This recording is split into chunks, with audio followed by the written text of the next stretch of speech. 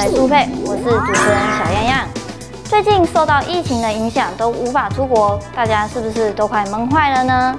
许多航空公司推出了伪出国的飞行旅程，可是要价并不便宜。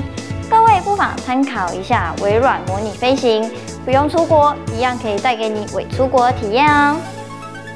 电玩宅速配早餐，边看边吃拿好康。PS4、Switch 主机等你来拿。新一代的微软模拟飞行，主打的就是拟真的飞行体验以及细致的游戏画面。有媒体在参与贝塔测试时，以 4K 的画质游玩，使用2080 Ti 显卡，FPS 竟然只有30到40帧，而且游戏的总容量竟然高达 120G 以上，可以堪称是新一代的硬体杀手。今日清晨，官方公布了最新的游戏预告片。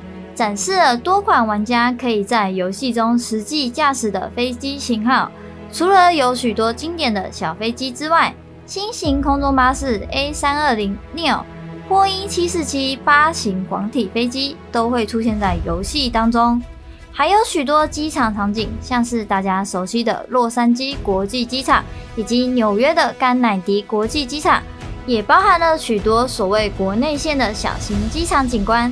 而且在场景的建构上，几乎是完整的呈现了现实生活中机场的设计样貌。游戏预计在下周八月十八号先在 PC 平台上推出。官方也宣布了，游戏上市之后将支援 VR 装置。闷坏了没办法出国，那就到微软模拟飞行过过干瘾吧。